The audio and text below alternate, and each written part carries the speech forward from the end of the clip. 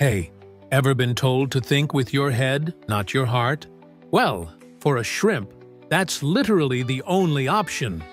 Mind-blowing, right? It sounds like something out of a sci-fi movie, but it's 100% true. A shrimp's heart, the little engine that pumps all its blood-like fluid, is located right inside its head. Think about it.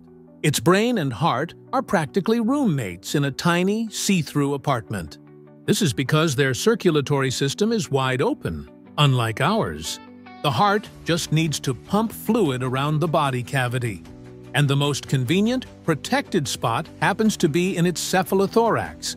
That's the fancy science name for its fused head and chest.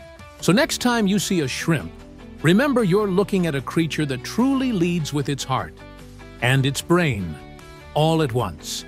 If you learned something new and wild today, smash that like button and subscribe for more amazing facts. Thanks for watching.